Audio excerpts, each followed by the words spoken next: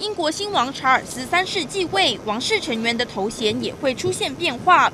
根据英国《太阳报》报道，哈利王子与梅根曾经针对儿女的王室头衔与查尔斯三世激烈辩论。据传，查尔斯已经同意授予孙子雅契和孙女莉莉贝王子和公主的头衔，但两人不会得到殿下的身份，让哈利与梅根相当愤怒。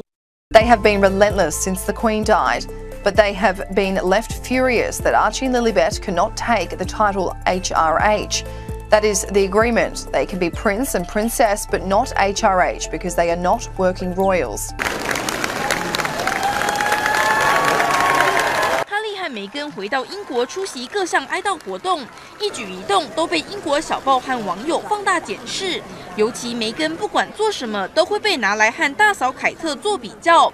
哈利与梅根一有机会就紧紧牵手，被认为在公共场合过于亲密。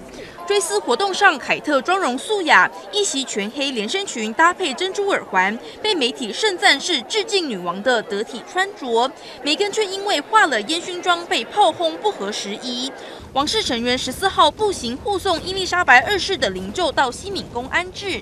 媒体拍到梅根看似略带微笑的表情，和前方神情严肃的凯特呈现强烈对比，再度引发争议。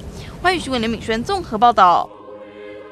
请订阅、按赞、分享环宇新闻 YouTube 频道，并开启小铃铛，及时掌握全球时事与最新趋势。